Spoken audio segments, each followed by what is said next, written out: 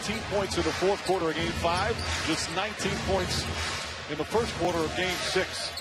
The defensive improvement from game one is staggering for the Thunder. Randy Foye finds some room.